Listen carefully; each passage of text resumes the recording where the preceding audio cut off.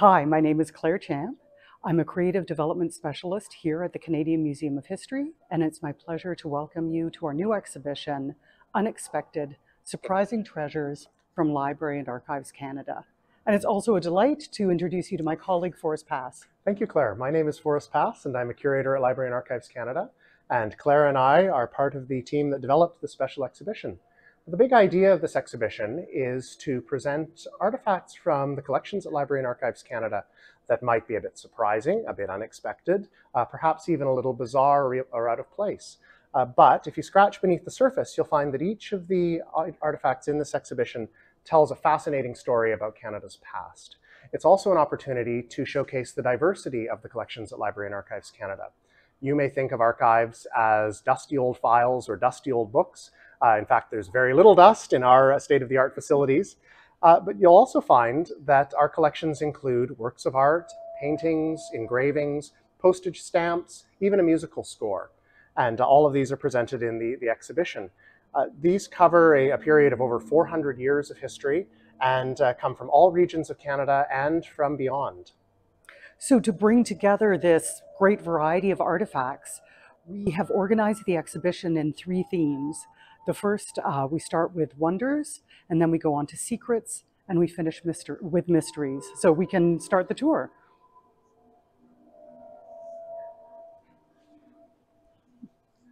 So do you think you? Yeah, I think I, yeah, that's okay. There we go. Yes, yeah. yeah.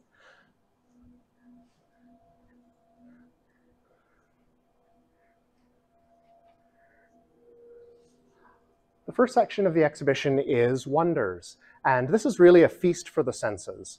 It uh, presents artifacts that were intended to delight, to astonish, or to surprise at the time of their creation, and we hope that they continue to delight, astonish, and surprise today. We wanted to highlight some really wonderful prints that we have. These are views of Canada, uh, actually views of Quebec City that were made in the 1700s by a European artist. And this artist had actually never been to Canada. So really they're imaginary views that were created uh, to present Canada as an exotic and unusual place for his, for the artist's European audiences. Something else to notice about these uh, prints is that if you look closely, the composition or the perspective is uh, a bit distorted and also some of the writing on the prints is backwards. And these are, are cues or clues for us of how these prints were originally meant to be seen. And if you take a look at this image, you can see in it a device called a zograscope. And this was an early uh, viewing device. It was kind of a novelty in the 1700s. It used a mirror and a lens uh, to help create a more heightened view of three-dimensionality in the prints. And what's really fun is that our uh, technical team here at the museum has recreated uh, elements of the zograscope here for us. So we have the lens that you look through, uh, we have a mirror at the back, and then we have these reproductions of prints that you can place in the device, and you can um, you can if you can see for yourself this heightened sense of three-dimensionality and it just have an, an enhanced full experience of how the prints were originally meant to be seen and uh, Forrest can demonstrate for us how to, uh, how to look at the prints and how to use the zograscope.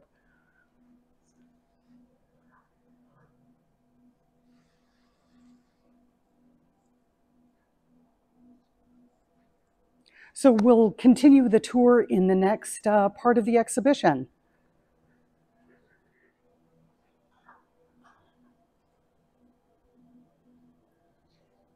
In this theme, uh, we talk about secrets. We've brought together a whole variety of artifacts. Um, some of them are secret documents that were classified and now have been declassified. There's other objects that create uh, contain secrets. And the way we brought all of these together is that these are all items that through research, through time, um, through their context in the National Collection, we can better understand the stories behind them and the secrets that they contain. And Forrest is going to talk about uh, a special one of those. Yes, my favorite uh, artifact in the whole exhibition is in the secret zone. And this is a Masonic tracing board. Uh, it's an oil on canvas painting produced for a Masonic lodge in rural Upper Canada, present-day Ontario, during the, the early 1800s, the beginning of the 19th century. Now, a tracing board is a memory tool, but it is also a teaching tool, and it was used to instruct new initiates into a Masonic lodge uh, in the secrets and lessons of the order. So the new initiate, uh, as he was going through his initiation ritual, uh, he would walk, metaphorically speaking, through the floors of, uh, of this temple, representation of the Temple of Solomon. And uh, on each of the floors, he would encounter objects that recalled particular lessons uh, of, the, of the order. So in the, on the bottom, we see some of the working tools, a, a plumb bob, a square, and a, and a level. Uh, as we move upwards, candles, uh, again, some more of the working tools in the second level, until you get to the third level where there's a coffin with a, a skull and crossbones on it, a sprig of acacia, and uh, Noah's Ark, an hourglass, uh, some other uh, some other features, all of which are highly significant to to members of the Masonic Order, and all uh, speak back to the secrets of the order. Now, Freemasonry may strike us as, as something uh, very perplexing, uh, very very difficult to understand, difficult to penetrate. But in fact, it is hugely significant in the early colonial history of Canada in that uh, the Masonic lodges provided social benefits to men in, uh, in settler communities uh, that uh, wouldn't have had access to these benefits otherwise. And secrets were a means of tying together the men of the lodge, uh, strengthening those bonds of fraternity, those bonds of community.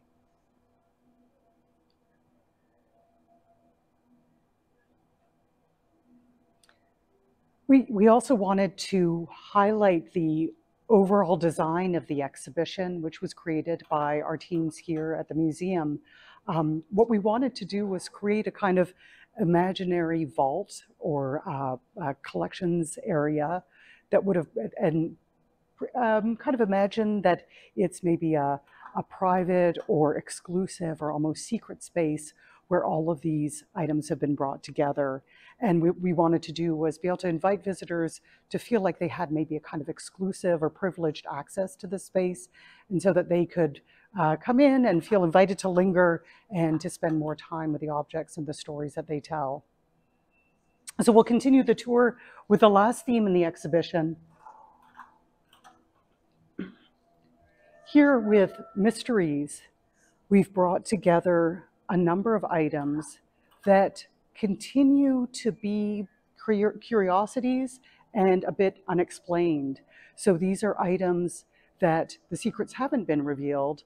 We don't know the full context behind them. We don't know all the stories that they can tell.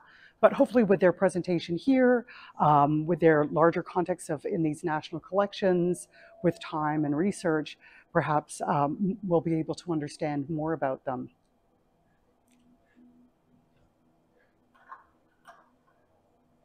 And the case in point is the final artifact in Mysteries, and indeed the concluding artifact for the entire exhibition.